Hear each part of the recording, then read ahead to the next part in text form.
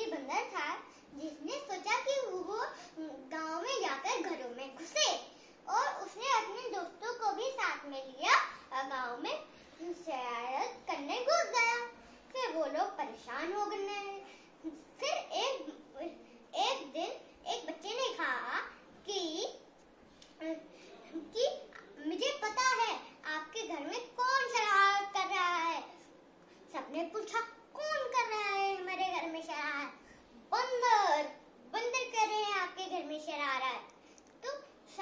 यहोवासी ने उसकी बात नहीं मानी और फिर उसने दूसरे दिन उसको सब कुछ दिखा दिया कि यही बंधन करते हैं घरों में घुसकर।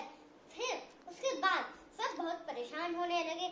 सबने सोचा कि सबने सोचा कि उसको फंसाया जाए। उस, उसके बंदरों के झुंड के राजा को फंसाया जाए।